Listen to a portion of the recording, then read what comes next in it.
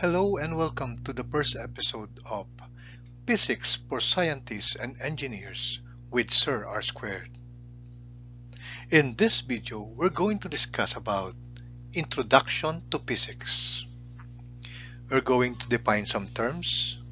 We're going to discuss about the branches of physics, the roadmap to the study of physics, basic measurements and units of measurements, scientific notations, conversions, and dimensional analysis. We are referencing Physics for Scientists and Engineers with Modern Physics by Survey and Jewett. First up, we go to definition of terms. What is science?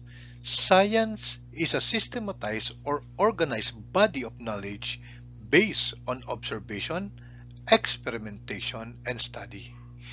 It comes from the Latin word scientia, meaning knowledge or knowing.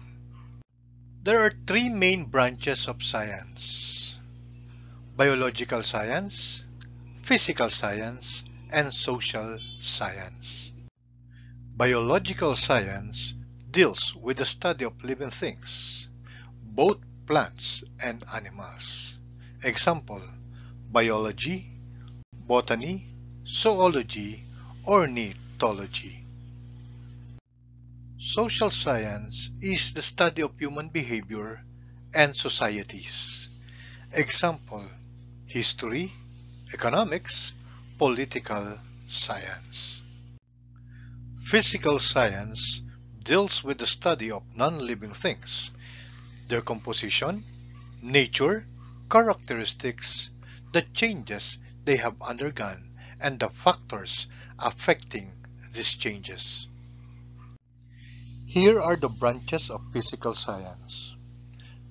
Chemistry, the study of matter, its composition, properties, structure, and the changes it undergoes. Astronomy, study of the universe and the heavenly bodies. Geology deals with the composition of earth materials, earth structure, and earth processes. Meteorology study of the atmosphere and how processes in the atmosphere determines the earth's weather and climate. Physics the branch of science that deals with the study of matter and energy and their interaction to each other. So what is physics? Ano? Minsan naguguluhan tayo, sometimes nakukompuse tayo kung ito bang pinag-aaralan natin ay physics or chemistry or biology kasi somewhat related po ang physics sa kanilang lahat. Ano? Ang sabi po dito, if it is living, it is biology. If it is chemicals, it is chemistry. What is chemistry? Chemistry is the study of chemical composition of matter. And what is physics? Is study of matter and its interaction. So matter din, kaya lang dito sa physics, physical properties of matter ang pinag-uusapan natin. Ano?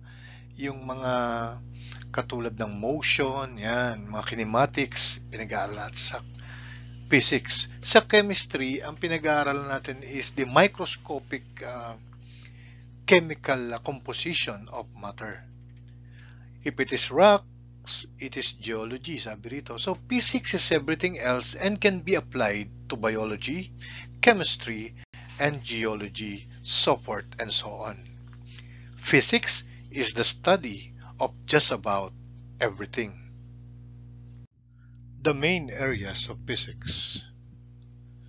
Physics can be broken down into seven main categories, namely mechanics, motion and its causes, thermodynamics, the study of heat and temperature, vibration and waves, specific types of repetitive motion, optics, the study of lights, electromagnetism, electricity, magnetism, and light.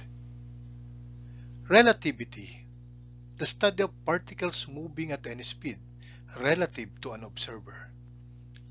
quantum mechanics, behavior of particles like protons, neutrons, electrons, and even smaller things. Yan po yung mga main areas ng physics. Dito po sa physics, meron tayong tinatawag na scientific method. In case we forgot, nandito po yung ating tinatawag na flowchart kung paano po yung ating uh, scientific method. Siyempre, unang-una po, mag-i-evolve po yan sa question. Paano po ba tayo nag-i-evolve sa question? Una, may observation and data collection. That leads to that question, that thing that you want to know. Pagkatapos, magkakaroon po tayo ng uh, wise guess or yung tinatawag natin ng hypothesis na na-formulate and objectively tested using experiments. Pagkatapos magkakaroon po tayo ng experiments, observation, tapos uh, i-interpret po natin yung result and revise the hypothesis if necessary. At pagkatapos po ng lahat ng experimentation and results, ay magkakaroon po tayo ng conclusion in a form that others can evaluate. Yan po yung ating uh, flowchart ng scientific method. Yung evolution po ng physics or yung history ng physics ay ilalagay ko na lamang po sa video number 2 dahil uh, masyado po nga haba itong ating video number 1 kung pati dito dito pa rin po natin siya isasama.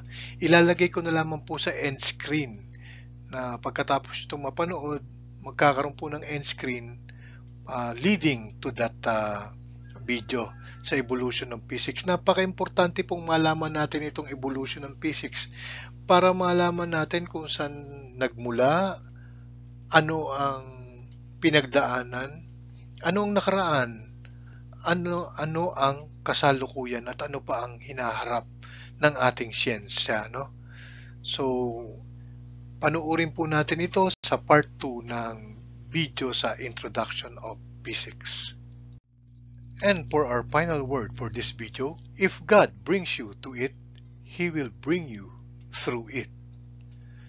With this, I have to terminate our discussion for this part 1 of the Introduction to Physics at ibalik po natin ang lahat ng parangal at papuri sa Diyos amang makapangyarihan sa lahat. To God be the glory.